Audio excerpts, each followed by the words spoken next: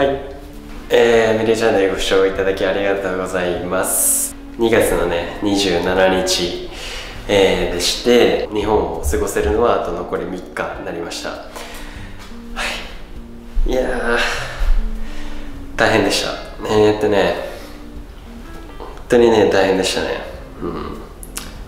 まずね、まあ、ここ先月の,、まあ、あのビザあの降りるところっていうところまではね結構大変だと思ってたんですけどまだまだでしたね。あのビザのところを取るっていうのは別にそんなにね大変じゃなかったですね。今考えると,、えーとね、大変だったのは、えーと、引っ越しでした。引っ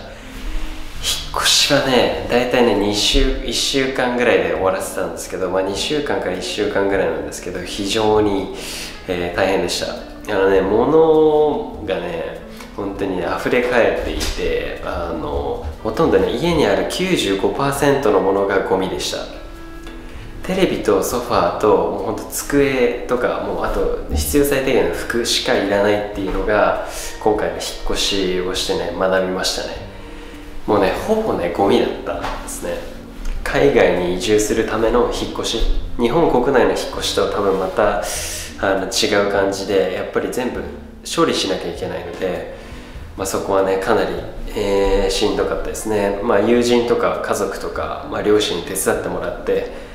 やっとねできたって感じです。自分たちだけではね絶対できなかったんで、まあ、これは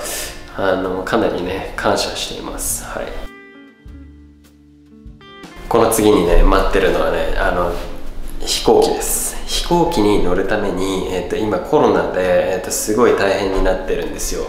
陰性証明書とかあとワクチンをちゃんと打ってるかどうかっていう証明書、えー、であったりとかあとねチャチャがウサギがいるんでそれの検疫に一回羽田空港を持って行ってその検疫で、えー、実際にクリアしないと持っていけないんですね。それの、えー、手続きっていうのも、まあ、ちょっといろいろあってあって一回羽田空港に行ってまた当日テスあの当日受け取るみたいな感じの、えー、作業が必要だったりしますと、まあ、これもね不思議なのはあの ANA の航空会社今チケット ANA って行くんですけどチェックインカウンターに来てくださいっていうのしか言われなくて検疫のことについてはあんまり言われなかったんですよ。検疫っていうのとか一回ねチャチャをね預けないと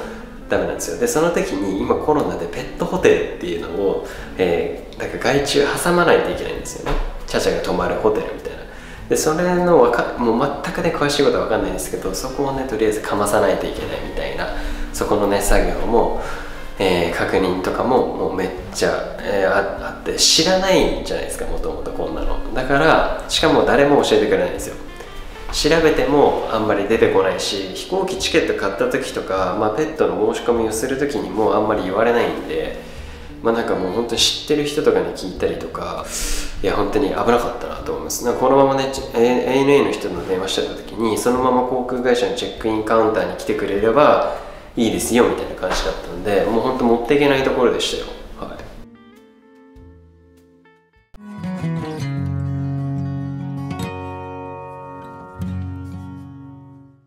区役所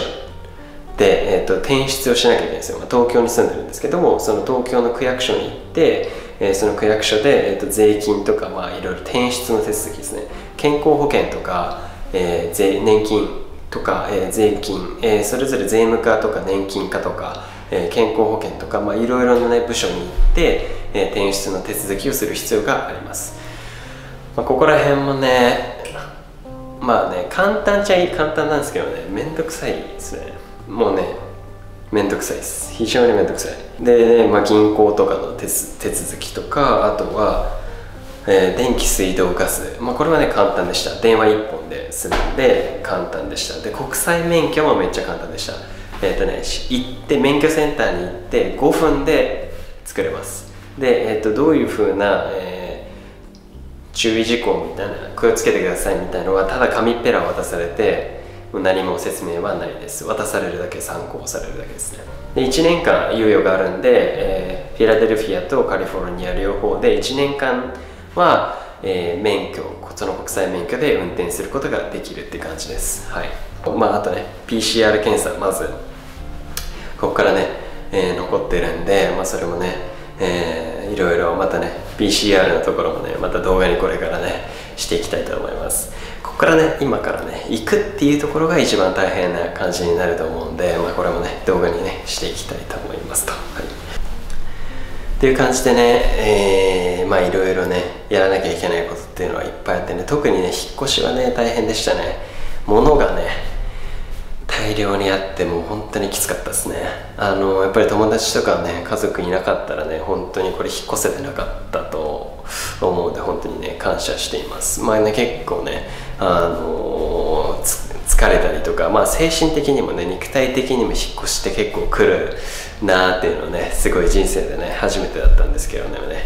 えー、まあ、ここにね引っ越してくる時はね一回やったんですけどもまあ逆に海外とかにまあ全部こうものをね出すっていうところ結構大変だなっていうのね、えー、思いました。てかねあのね YouTube をねもうねやる暇がないんですよ。精神的に肉体的に。疲れがきつくて。もうね動画を撮影しこうやって撮影して編集して YouTube に出すっていうのはいかにね幸せなことだっていうのがね改めて実感しましたね。このね2週間動画上げられてなかったのは本当にね忙しすぎたっていうね。あの余裕がなかったっていうのがね正直ですね。本当に毎日撮影して毎日あげたいんですよね。でもねそれなかなかね難しいなっていうのがね、えー、気づきましたね。はい。だから今ねこうやってね撮れてるのはね非常に感謝するべきね、えー、ことなんだなっていうところね今実感しました。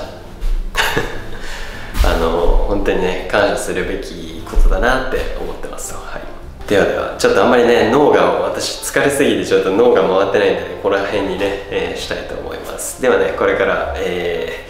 ー、アメリカにね行く準備まだまだね、えー、していきたいと思いますのでご視聴いただけたらね幸いです。ご視聴いただきありがとうございました。